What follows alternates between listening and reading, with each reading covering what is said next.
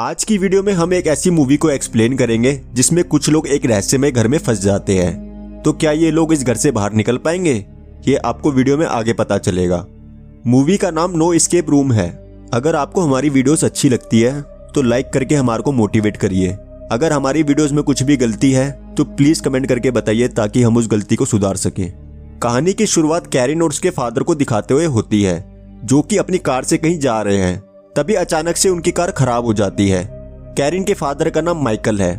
Michael उसे गाड़ी से कपड़ा निकालने को बोलता है, एंड जैसे ही कैरिन गाड़ी से कपड़ा निकालती है, उसका एक्सीडेंट होते होते बच जाता है, क्योंकि उसने कान पर हेडफोन्स लगा रखे थे। काफ़ी ढूँढने पर उन्हें एक गराज मिल जाता है, लेकिन उनकी कार को सही होने में अभी टाइम लगेगा। तो वो दोनों लंच करने के लिए एक रेस्टोरेंट में आ जाते हैं।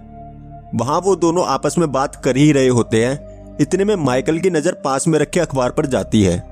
जिसमें एक बेहद ही रहस्यमय गेम के बारे में लिखा हुआ था स्केप रूम तभी उनके पास उस रेस्टोरेंट की वेट्रेस आती है, जिसका नाम बैटसी है। माइकल बैटसी से गेम के बारे में पूछता है तो बैटसी उसे बताती है, ये गेम काफ़ी ज़्यादा खतरनाक है।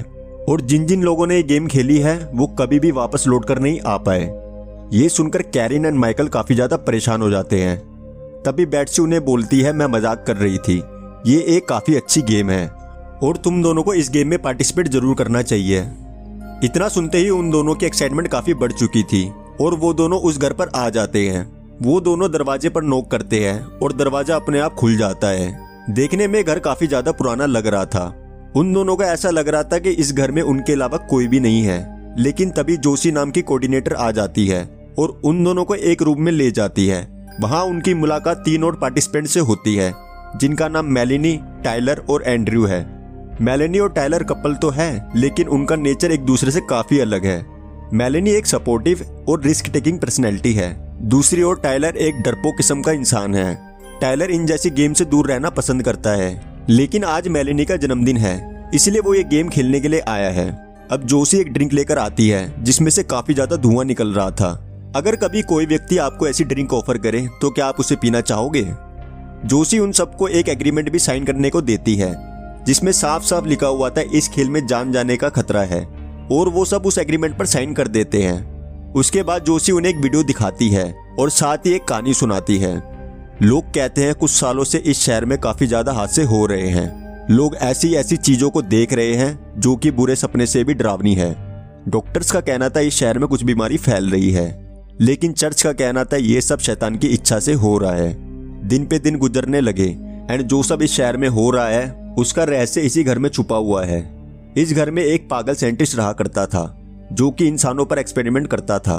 वो आत्माओं से बात करने का तरीका ढूंढ रहा था।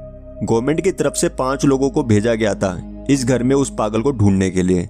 लेकिन इस घर में आते के साथ ही वो पाँच लोग न जाने कहाँ गायब हो गए। उनका कोई भी नामो निशान नहीं मिला।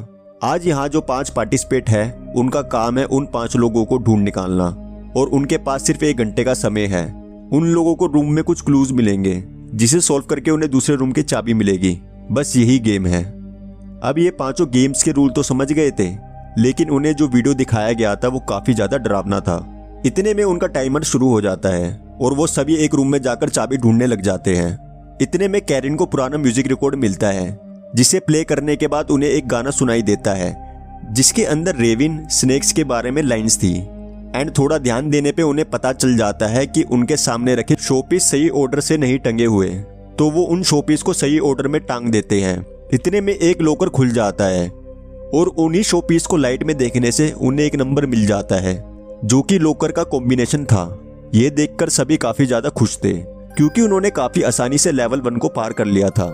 दूसरी तरफ़ टाइलर को काफ़ी अजीब अजीब चीज़ें दिखाई दे रही थी। उसे अपने हाथों में कीड़े घूमते हुए नज़र आ रहे थे। जिसे देखकर वो काफ़ी ज़्यादा घबरा जाता है और पैनिक करने लग जाता है।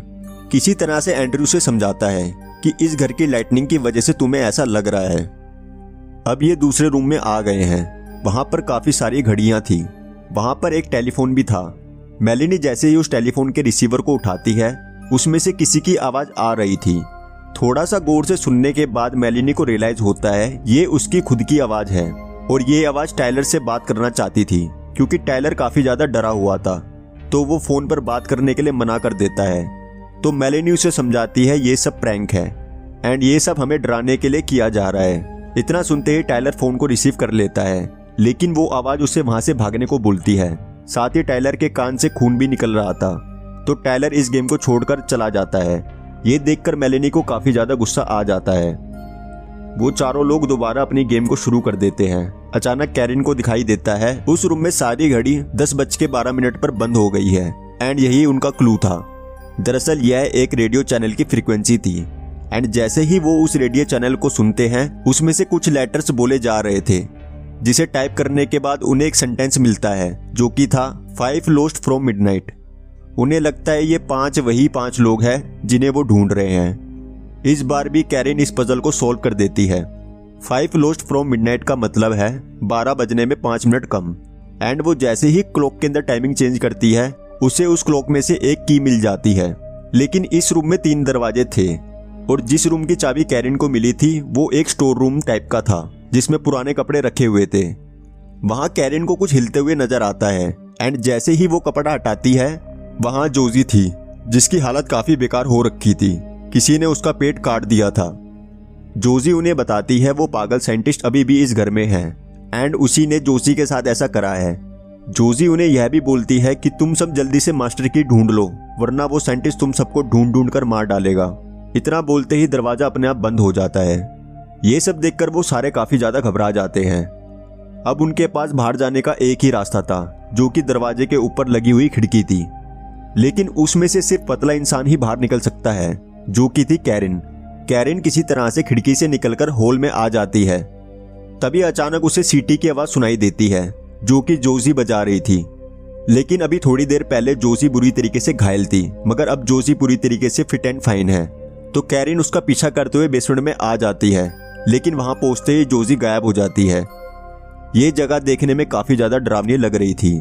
देखकर ऐसा लग रहा था ये कोई ऑपरेशन थिएटर है, जहाँ मरे हुए लोगों का पोस्टमार्टम करा जाता है। वहाँ पर काफ़ी सारे मरे हुए लोगों की बॉडी पार्ट्स थे, जैसे कि मूवी की स्टार्टिंग में वीडियो में दिखाए गए थे। थोड़ा ध्यान से देखने के बाद वो 100 परसेंट श्योर हो जाती है, यहाँ पर लोगों के ऊपर एक्सपेरिमेंट किया जाता है। एकदम से उसे बाहर की तरफ़ से डरावनी आवाज़ आती है तो वो डरकर मोर्चरी के अंदर छुप जाती है। दूसरी तरफ़ माइकल और एंड्रू ने रूम का दरवाज़ा खोल लिया था। कैरिन को ढूंढते ढूंढते वो तीसरे रूम में पहुँच जाते हैं, जहाँ पर एक वीडियो प्ले हो रखी थी। एंड्रू को कॉम्बिनेशन लॉक तो मिल गया था लेकिन उसका कॉम्बिनेशन आसपास नहीं लिखा हुआ था। तभी एंड्रू के दिमाग में उसके स्कूल के द्वारा सिखाई हुई बातें आ जाती है। एंड्रू एक छोटे मिरर से प्रोजेक्टर की लाइट को फ़ैन के ऊपर रिफ्लेक्ट करता है, जिससे उन्हें कॉम्बिनेशन दिखने लग गया था। तो वो जल्दी से कॉम्बिनेशन लॉक को खोल लेते हैं और उन्हें चाबी मिल जाती है। एंड्रयू एंड माइकल गेट से बाहर निकल जाते हैं, लेकिन मेलेनी को प्रोजेक्टर के अंदर उसी की ही वीडियो दिखाई दे रही थी, जिसमें वो रूम से बाहर नहीं निकल पा रही थी। एंड्रयू एंड माइकल उसे काफ़ी ज़्यादा बुलाते हैं, लेकिन मेलेनी उसी कमरे के अंदर फंसकर रह जाती है, जैसा कि उसने प्रोजेक्टर में देखा था। वो रूम से निकलने की कोशिश कर तो रही थी, लेकिन वो घूम फिर कर उसी जगह पर वापस आ रही थी जहाँ से वो शुरुआत कर रही थी। तो वो अपना रास्ता चेंज कर लेती है, तभी उसे टाइलर की लाश मिलती है, फांसी लगी हुई, वो रोने लग जाती है। तभी उसे फ़ोन की घंटी सुनाई देती है, वो भागकर फ़ोन को रिसीव करती है। उसे फ़ोन से उसी की आवाज़ रिपीट सुनाई दे रही थी। वो काफ़ी ज़्यादा डर चुकी थी। तभी उसे याद आता है गेम की स्टार्टिंग में जब उसने कॉल रिसीव की थी, वो टाइलर को गेम छोड़कर जाने के लिए बोल रही थी। तो वो बिल्कुल ऐसा ही करती है। वो दोबारा टाइलर को गेम छोड़कर जाने की वार्निंग दे रही थी। अचानक उसे उसके आसपास किसी के होने का एहसास हो गया था। तो वो हड़बड़ाहट में सीढ़ी चढ़ने लग जाती है। अचानक उस सीढ़ी का एक हिस्सा टूट जाता है और वो किसी नोकीली चीज़ पर जाकर गिर जाती है। जिसकी वजह से उसकी मौत हो जाती है। बाहर एंड्रयू एंड माइकल अलग अलग होकर कैरिन को ढूँढने में लग गए थे।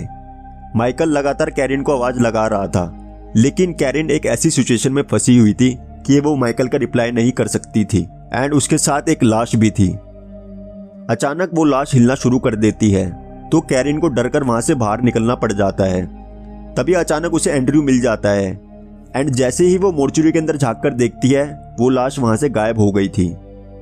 वो दोनों इस बेसमेंट से बाहर निकलना चाहते थे, लेकिन बेसमेंट का दरवाज़ा बंद हो गया था। इट्स यहाँ पर भी उन्हें कोई क्लू ढूंढना होगा। एंड्रू को एग्जिट मिल गया था, साथ ही कैरिन को एक मैप मिल जाता है। दरअसल ये एग्जिट एक बड़ा टॉयलेट पाइप था, और चाबी भी इसी के अंदर थी।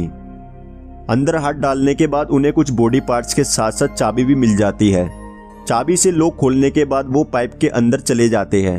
एंड ये पाइप काफ़ी ज़्यादा पतला था। वो दोनों पाइप में रगड़ रगड़ कर चल रहे थे। थोड़ा अंदर आकर पाइप के अंदर ऑक्सीजन की मात्रा कम हो रही थी।